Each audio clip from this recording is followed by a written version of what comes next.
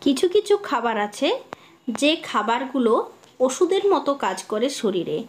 কিন্তু আজকালকার দিনে আমরা এগুলো অবহেলা করছি। বন্ধুরা, এই হলো গম। যে গম থেকে ভাঙিয়ে আমরা আটা প্রস্তুত করে আটার রুটি খাই। আজকে আমি আপনাদের এমন একটা খাবার তৈরি করে দেখাবো, যে খাবারটা খেলে পেটে জমে থাকা ময়লাও নেমে যাবে, পেট পরিষ্কার হবে, তার সাথে সাথে পেটের কোনো গোলমাল হবে না। প্রতিদিন এই ঝামেলা না করে যদি সপ্তাহে দুইবারও খাওয়া যায়, তাতেও অনেক লাভ হয়। খেলে কি হয়, সব আমি আপনাদের জানাব। তো প্রথমে গমটাকে পরিষ্কার করে ধুয়ে নিয়েছি। খুবই ভালো হয় যদি এটা কিছুক্ষণ ভিজিয়ে রেখে দেন। এরপর এর সাথে লাগবে মুগ ডাল। মুগ ডাল হলো ডালের মধ্যে সেরা। এটার একটাই দোষ আছে এটা খেলে একটু বায়ু করে। তবে যাই হোক, সহজে দুর্বল হতে দেয় না। এমনিতেও আমরা প্রায়ই বাড়িতে ভাতের সঙ্গে মুগ ডাল খেয়েই থাকি। তো মুগ ডালটাকে আমি খুব ভালো করে ধুয়ে পরিষ্কার করে ভিজিয়ে রেখে দিচ্ছি। তিল। তিল এমন একটি খাবার যেটা আমাদের প্রতিদিন খাওয়া উচিত। সত্যি সত্যি বহু গুণ আছে এর মধ্যে। তিল খেলে কোনো দিন পেটে ব্যাকটেরিয়া জমতে পারেই না। তাই ভাতের সাথে তিল অবশ্যই খান। আর তিল খেলে কোনো দিন কোষ্ঠকাঠিন্যের ধাত আসে না। তাই এই কথা খেয়াল রেখে এটাতে আমি তিলও একটু দিয়ে দিচ্ছি। এরপর আস্তে আস্তে কিছুক্ষণ ভিজিয়ে রাখার পর এগুলোকে ছেঁকে নেওয়ার পালা।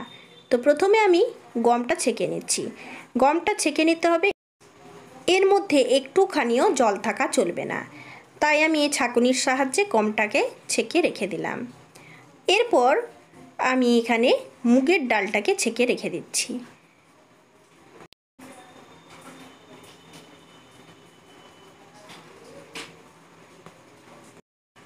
একইভাবে তিলটাকেও আমি ছেঁকে নিচ্ছি। সব ছাকার পালা শেষ। চলুন এরপর আস্তে আস্তে তৈরি করে নিই।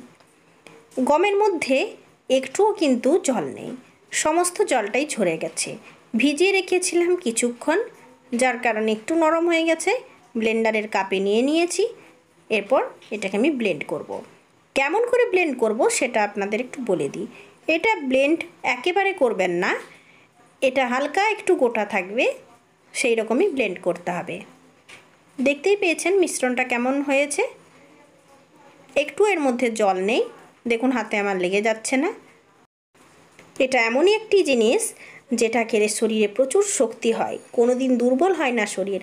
তার সাথে সাথে পেটের মলকে বের করে দেয়। এটা আপনি দুইভাবে খেতে পারেন, খিচুড়ি করে খেতে পারেন, আবার দুধ দিয়ে পায়েসের মতো তৈরি করেও খেতে পারেন। এটা প্রত্যেক দিন করবার ঝামেলা থেকে এটা আপনি হালকা করে একটু ভেজে রেখে দিতে পারেন। কড়াই আমি একটু সরিষার তেল দিয়েছি, খুব একটা বেশি দিইনি, হাফ চামচের মতো দিয়েছি।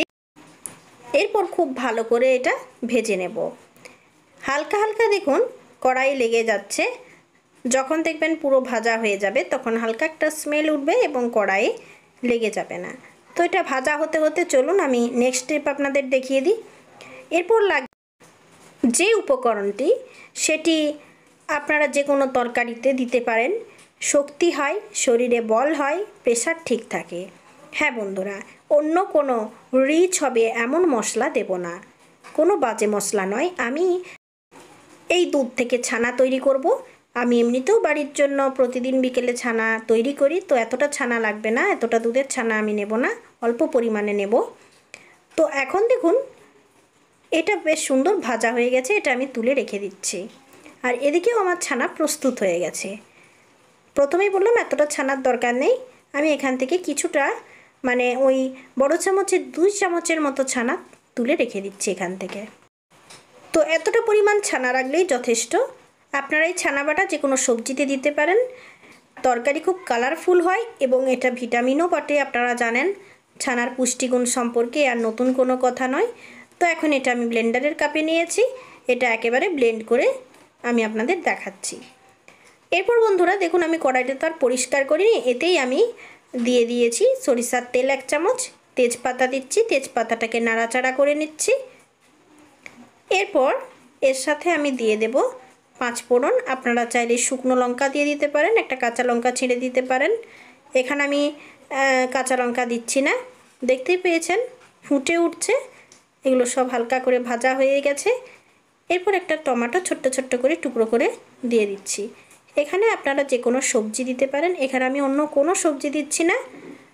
যার যেটা সহ্য হয়, সে সেটা কিন্তু দিয়েই তৈরি করতে পারেন। একটু গ্রেড করা আদা দিয়ে দিলাম।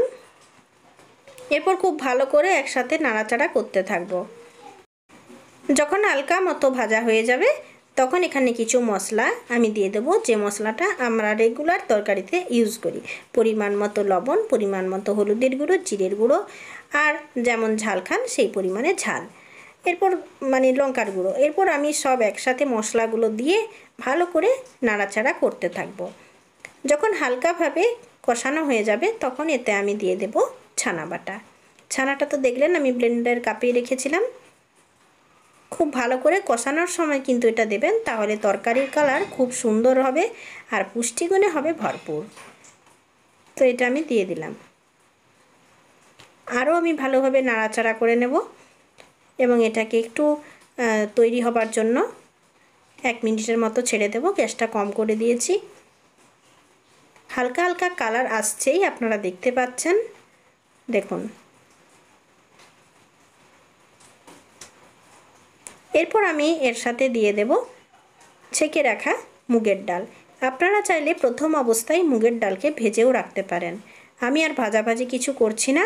আমি এর সাথেই মুগের ডালটা দিয়ে কষতে থাকব। তাহলে স্বাদটা দুর্দান্ত আসে। দেখতেই পেয়েছেন, যেটা হালকা কষা হয়ে গেছে, এর মধ্যে সামান্যটুকু আর জল নেই। এরপর এর সাথে আমি দিয়ে দেব তিল বাটা। তিল বাটাটা আমি এরপর দিয়ে দিচ্ছি। কোনো অন্যান্য মশলা এখানে কিন্তু করবার সময় দেবেন না। এমনকি পেঁয়াজ বাটা, রসুন বাটাও না দিলেই ভালো হয়। বন্ধুরা, অনেক সময় আমরা উপবাস করি আর এই উপবাসের দিনে কিন্তু এইরকম একটা খাবার যদি খেয়ে নেন, সারাদিনে আর খিদে বলতে কিছু থাকবে না। আর কোনো রকম উপবাসে দরুন দুর্বলও হবেন না। আর পরের দিনে পেট পরিষ্কার করে কিন্তু পায়খানা হবে। তাই বন্ধুরা, আপনারা দেখতেই পেয়েছেন, এটা ফুটে উঠছে। আর এটার কালার খুব সুন্দর হয়েছে। মনে হচ্ছে অনেক কিছুই মশলা দেওয়া হয়েছে, কিন্তু আপনারা তো দেখলেন, অন্য কোনো মশলা এখানে আমি দিইনি। যখন খুব ভালোভাবে সব কষানো হয়ে যাবে, তখন আমি গম কুটানো যে ভাজাগুলো, সেগুলো এখানে দিয়ে দিচ্ছি। আপনারা হয়তো ভাববেন যে ডালিয়া খেলেও তো হয়, কিন্তু বন্ধুরা এই ডাইরেক্ট গম যদি খাওয়া যায়, তাহলে শরীরের পক্ষে সব থেকে ভালো হয়। তো যতটা গম আমি কুটিয়েছিলাম, ততটা গম আমি এখানে দিইনি। আমি হাফ রেখে দিয়েছি, অন্যদিন খাব বলে। তো আপনারা হয়তো মনে করবেন, এটা অনেক ঝামেলার ব্যাপার, কিন্তু আমি বলব, সপ্তাহে দুই দিন আপনারা এটা খেতেই পারেন, রুটির পরিবর্তে এটা খেতে পারেন। চট করে খিদে পাবে না, আর পেট ভরা থাকবে, সত্যি সত্যি একটা ওজন কমানো খাবার বলতে পারেন। পেট ঠিক থাকবে, হজমের সমস্যা হবে না, নামাবার ঠিক পূর্বে আপনারা একটু গোলমরিচের গুঁড়ো দিয়ে দেবেন।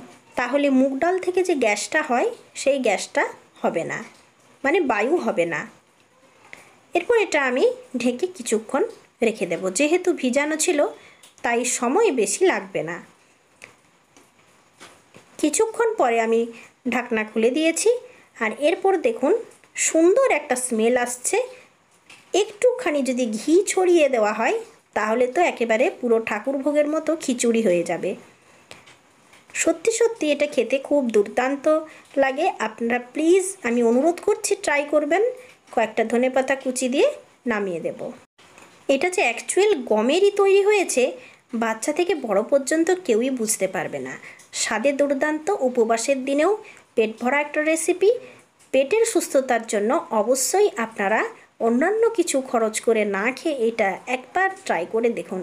অবশ্যই ফল পাবেন বন্ধুরা। আজকের ভিডিও এ পর্যন্ত।